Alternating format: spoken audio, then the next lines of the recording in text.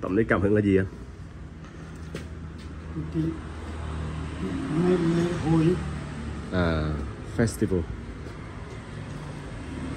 Ngày lễ hội là ai hồng hân hoan this is a festival. Everybody very happy. Good vibe. ngày lễ hội này là của của của Huế À. festival ở Huế là festival lớn nhất Việt Nam. À, cho nên trong đó là coi như là cái ờ, cái cái vâng ấn chứa cái màu tím á À. tím của Huế. Purple